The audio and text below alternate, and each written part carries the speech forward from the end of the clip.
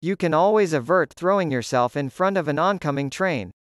There is something that just pulls you away, and it has pulled me away, because I'm not dead yet, just at the brink of impact.